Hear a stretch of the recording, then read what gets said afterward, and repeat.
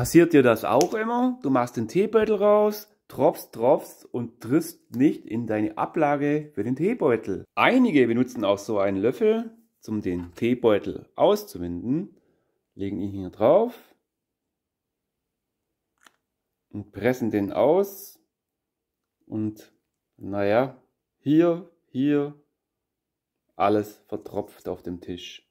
Ich zeig dir jetzt, wie es besser geht. Und wenn du neu auf meinem Kanal bist, abonniere mich kurz für weitere tolle Videos. Schön, dass du da geblieben bist, denn jetzt zeige ich dir den Trick. Zieh den Teebeutel langsam nach oben, halte ihn kurz unter der Wasseroberfläche, meistens dreht er sich. Dadurch wird die Oberflächenspannung sorgen, dass das Wasser vom Teebeutel nach unten zieht. Und wenn du langsam immer höher gehst, es tropft nichts mehr, siehst du? Und jetzt kannst du ihn schön langsam hier rüberlegen und deinen Kaffee schön genießen.